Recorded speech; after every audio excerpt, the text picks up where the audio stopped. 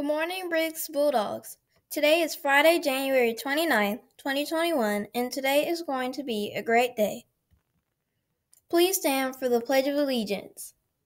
I pledge allegiance to the flag of the United States of America and to the Republic for which it stands, one nation, under God, indivisible, with liberty and justice for all.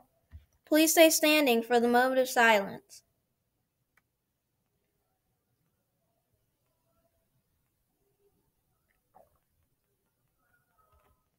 Bullying Pledge. I promise to be safe and respectful to everyone and help our school remain bully free. Winter birthdays. Today's birthday is Janiyah Burr in Miss Hughes's class. January 30th is Addison Hill in Miss L. Keefe's class. And on January 31st, Germani Willis in Miss Thompson's class. Happy birthday! Drawing. Miss King has sent in a video of some of her favorite art drawings.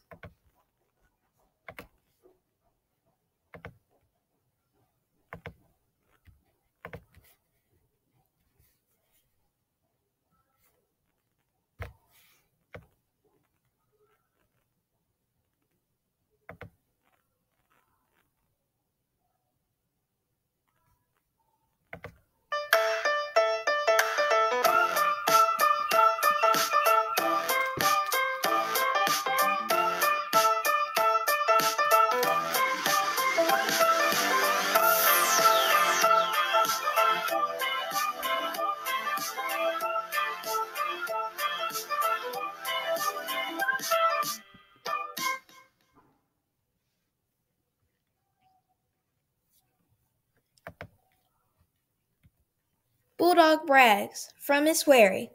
I am so proud of the following students for meeting their AR goal the second nine weeks Peyton, Antoine, Ansley, Eric, Aiden, Bradley, Journey, and Liddy.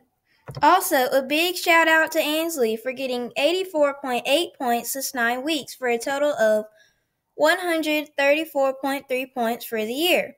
Way to go, Ansley! And another big shout out to Liddy for getting 47.6 points for this nine weeks and for a total of 132 points for the year. Way to go, Liddy! Trivia questions. How many soccer players sh- should each team have on the field at the start of each match? 11.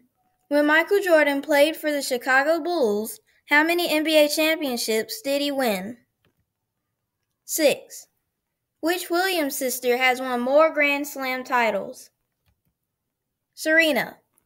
Which Jamaican runner is an 11 time world champion and holds the record in the 100 and 200 meter race? Usain Bolt.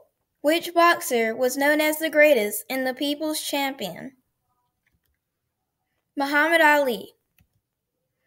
Today is also National Croissant Day. The original croissant was called Kipfel and originated in Austria in 1683.